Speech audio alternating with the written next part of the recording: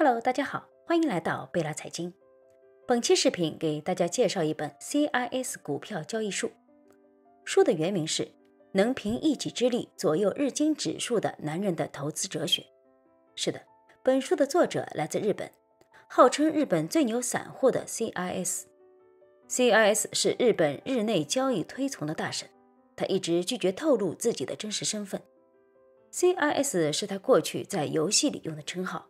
中文翻译成喜四，只知道他四十一岁，是三个孩子的父亲，曾经是电竞冠军和帕金格赌徒。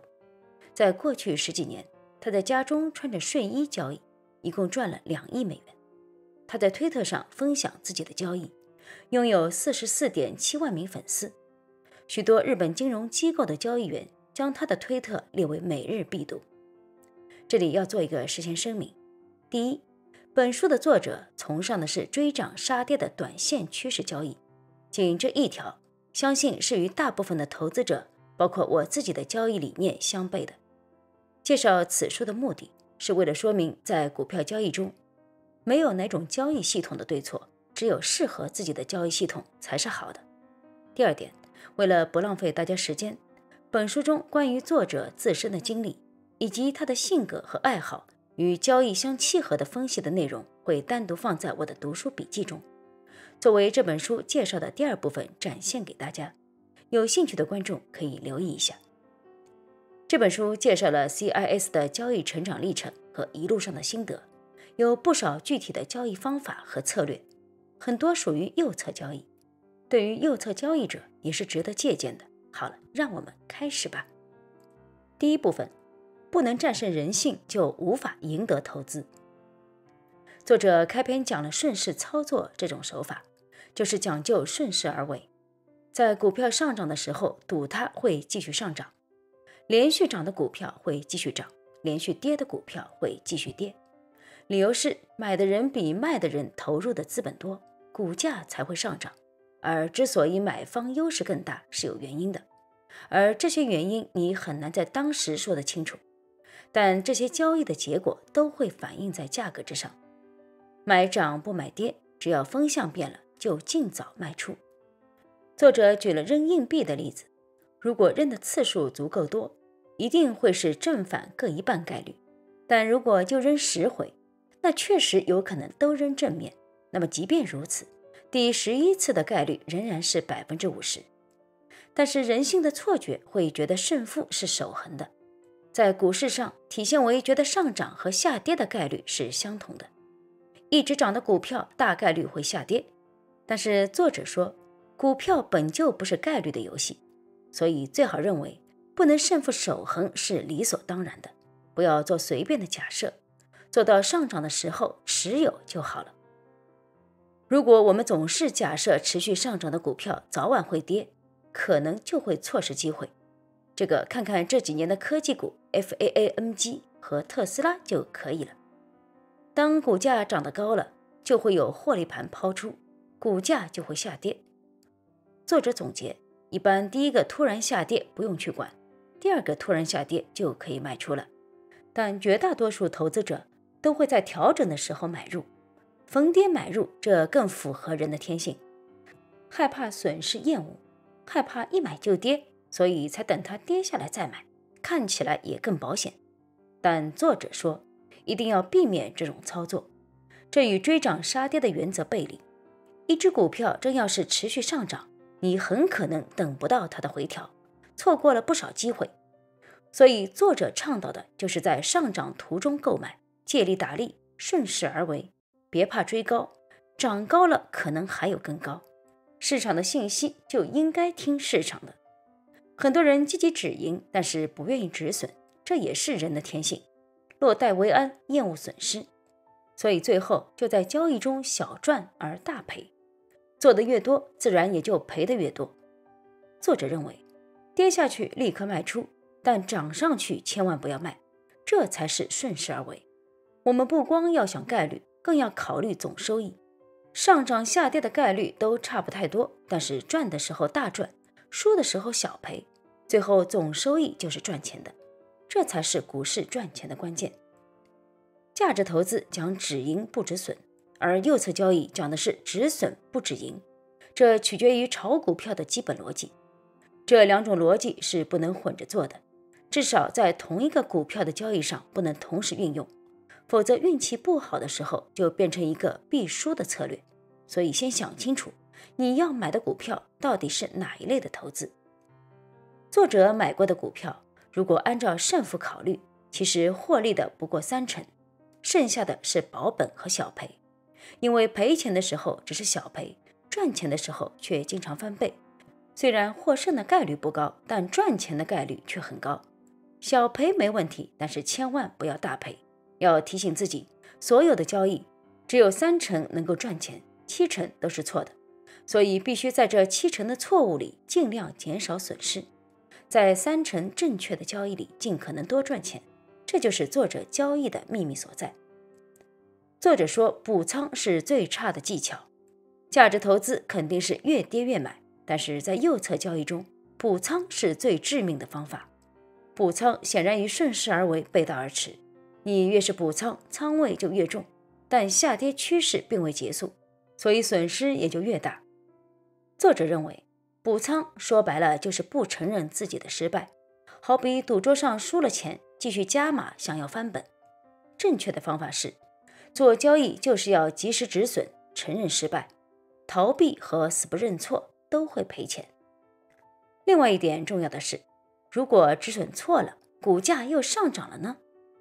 作者说很简单，再买回来，相当于两次承认了错误，连止损都错了。但是这些跟赚钱比都无关紧要。很多人也许会心里不舒服，可是作者通常能够冷静对待，通过一点手续费和一点价差，避免了一次大赔的风险。当然。如果一只股票操作了三次以上都是错的话，说明没缘分，还是收手换一只吧。作者说，炒股的新手最容易犯的错误其实就是不止损，总想等价格反弹后再卖出，于是栽了大跟头，不能正视损失和错误，带来了更大的损失和错误。这样的套牢构成了典型的赔钱模式。当股票的波动跟你想的完全不一样。这很可能是有些信息你没有注意到所导致的。一旦感觉到这种异常，无论结果如何，都应该尽快卖掉。作者讲他自己止损过早也是常事，但他认为操作理念没有错。在股市里，不能撇开感情、严于律己的人，不能正视自己状态的人，一定会输得很惨，会一直输下去。一直说股市有风险，又有多少人听进去了？炒股有赔有赚很正常，不可能每次都看得准。有的人总幻想自己可以从股市获取固定的收益，就像上班拿工资，潜意识觉得每次买股票都可以赚钱，这是不可能的。股市就是进三步退两步的游戏，想稳定赚钱，还是老老实实上班吧，不要炒股，不适合你。大赚的机会就是人们情绪动摇的时候。例如大的股灾、金融危机，尽管暴涨和暴跌都极端，但是人是对于悲伤和恐惧更敏感的动物，所以暴跌的时候机会更大，所以才有“别人恐惧，我贪婪”这句话。每个人的投资都有风格，要找到与自己性格相符的风格，在这个基础上，如果想要赚得更多，就必须克服人性的本能，不能抑制害怕损失的恐惧心理。在股市上基本不可能赚钱，参与股市就要为了收益承担风险，风险是绝对的。但是作者基本不去对冲风险。如果为了分散风险而多付成本，只会摊薄了收益。基金经理要让成绩平稳而对冲，但个人交易做对冲就没有意义。挑战和机遇不过一线之差，接受结果就可以了。看到这里。本书的第一部分如何战胜人性讲完了，下面我们来看本书的第二部分。在股市上，第一条泥鳅特别好吃，第二条也不错，第三条就不知道了。作者的意思是，股市上第一次出现重大机会，我们可以赚到很多钱，但是找到这样的机会不太容易。第二次出现赚钱就比较容易了，但是不会很多。第三次机会再出现。大家都知道了，能不能赚钱就不一定了。二零一八年初，美股上的日本概念大涨，日本股市开盘也上升，所以作者就抢购最热门的产业机器人板块的股票。随后，公司发布业绩，利润同比大增百分之八十五，业绩极好。不过，当好消息释放以后，市场却风云突变，开始下跌。这是因为市场预期过高。虽然业绩增长了百分之八十五，但是也没有跑赢投资者对它的期望。看到这种情况，作者就清掉了仓位。他发现大多数电子类的股票都有类似的情况，所以他转变策略，在业绩报告公布之前就开始卖出。在卖掉股票后，作者进行空仓观察，他发现日经指数也跟这些电子类的大盘股走势息息相关。于是他在股指期货上加了做空仓位，这次做空很成功，日经指数出现了暴跌，到最后离场的时候，他赚了十二亿日元。作者讲了著名的杰 com 事件，他从中获利六亿日元。当时卖出方把价格当做数量敲了进去，他在很低的位置捡了漏。作者迅速查了招股书，发现六十四万的单子数量是总股本的若干倍。判定这是一个乌龙指，果断买进。这个时间用了二十秒。后面卖出方试图撤销单子不成，就想出了把自己的单子全部买回来，减少损失的办法。十分钟后，股票涨停了。作者顺势卖出，用套利的钱买入任天堂和另一家公司的股票。这个操作反映出作者胆大心细的特点。如果乌龙指的交易被取消，后面买入任天堂的交易如何处理？所以，作者通过买入任天堂的交易，规避了第一次交易被取消的风险。作者说，市场是倾向于规避风险的，所以如果有两次暴跌记忆，那么第三次就会向相反的方向变动。所以，知道市场是怎么想的非常重要。下面我们进入本书的第三部分。取得成功的重要一步是可以冷静地看待股市和自己。作者刚开始炒股时是按照基本面来投资，先做财务分析，接着为企业估值，然后挑选被低估的股票。但是按照这个想法买入的股票却总是下跌，持续加仓依旧下跌，最后就一直赔钱，半年赔了大约一千万日元。他领悟到这个做法想不通。所谓的便宜只是他自己的判断，基本面分析出来的便宜是没有错，但是股价已经反映出这一点了。与其分析估值，不如直接在价格里面找答案。相信市场是正确的，有太多的基本面分析师、研究机构，他们早已经把公司的基本面研究得透透的了，所以不太可能放任便宜还置之不理。之所以表现出便宜，一定有其他的原因是自己不知道的。作者痛定思痛，才摸索到现在的风格，所以他采取的做法是，一心一意地观察股价的变化，市场的信息只能向市场学习，同时一次次顺应市场的趋势，不停地向结果学习，每天在炒股方法上有小小的改进，他做到了客观地评价自己和投资，不带主观情绪。他说，如果不想认错，就会赔钱。但现实中，很多人宁可赔钱也不认错，这是很可悲的事情。作者除了看股价的波动，基本上就看推特，发现什么可疑的变化，马上减仓一些，然后再查新闻。他认为推特的新闻是最快的，也就是小道消息。他举例说，二零一六年特朗普胜出时，当时的推特是最快的，路透社和彭博慢了近三十秒。NHK 等日本新闻则慢了几分钟。另外，作者认为，通过盯盘，在大多数情况下，内线交易等可疑的交易是能够观察到的。至于如何判定可疑的交易呢？他刚开始也不知道。反正当他盯盘两周左右，就领悟了。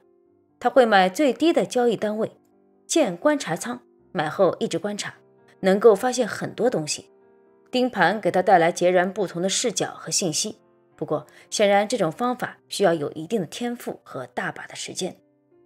最后，作者说，作为一个游戏爱好者，身在可以发挥打游戏的本领的时代是一大幸事。他认为股票交易就是金钱的零和游戏，而他的职业不过就是交易工匠。对于他来说，现在基本只在上午交易，其中最重要的时间段是九点到九点二十分之间。他对中分红的股票不感兴趣，因为不赚钱。他不做长线投资，因为连明天都很难预测，长期更没有什么把握。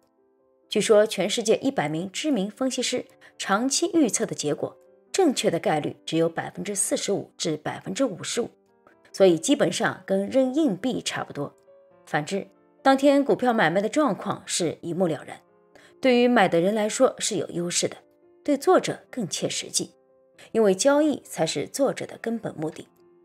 最后总结一下，其实 CIS 的交易理念与一百年前的股票大作手利弗摩尔，以及后来的趋势交易大师威廉欧奈尔的交易理念虽然不完全相同，但都属于趋势交易策略，时间上相差一百年。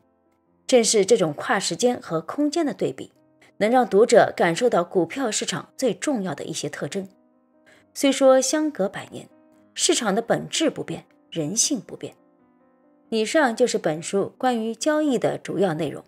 如果您想了解这位日本最牛散户是因为什么走上了以交易为生的道路，其人生的其他精彩片段，请移步我的读书笔记频道，在那里有关于本书的第二部分。